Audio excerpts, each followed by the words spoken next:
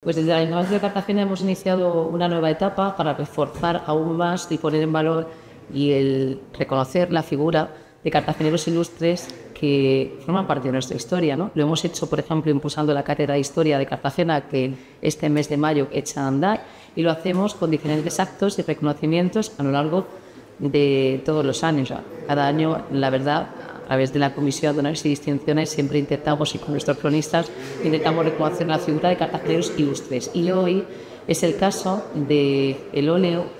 que, sobre lienzo que hemos situado sobre la figura de Fernando Garrido, que es además una obra del cartagenero también Vicente Ross, que hemos restaurado en nuestro taller municipal para ensalzar la figura de un escritor, sociólogo, pintor, que fue un revolucionario vanguardista, un defensor del movimiento obrero, de la lucha por la justicia social, por la libertad, que siempre usó como arma la palabra eh, para defender esas causas y que en muchas ocasiones eh, supuso la persecución o el encarcelamiento por defender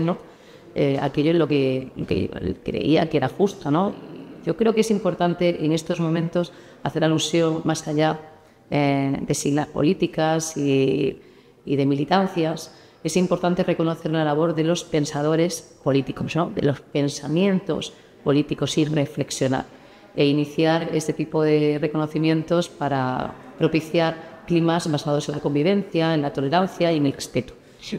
Bueno, creo que, va, que ha quedado muy bien y que, que va a ser un sitio elegido eh, muy propicio para reconocer la figura de Fernando Gari, que ya por otro lado pues tenemos la plaza también la de San Antón, tenemos el colegio que lleva su nombre, o tenemos también la Federación de Asociaciones de Vecinos de Cartagena y Comarca, que también lleva el nombre de Fernando Garrido. No, agradecer al Ayuntamiento de Cartagena y a todos los cartageneros en general